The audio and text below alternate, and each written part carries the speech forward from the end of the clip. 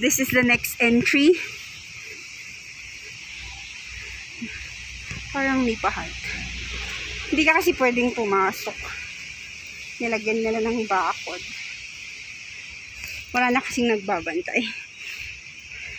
Nung day one, I think pwede siya. Or I don't think so. Parang, oh, ang ganda. What do you think, guys? Could this be the winner? Naulanan yung bulaklak.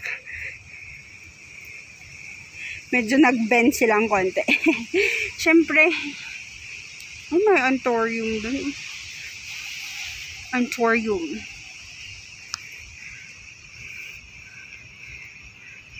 So, this is our second entry. This is my second video, actually.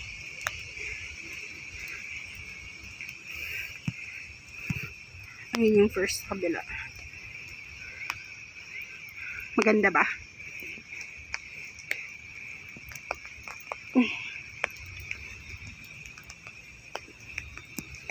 Pwede kang umupo doon.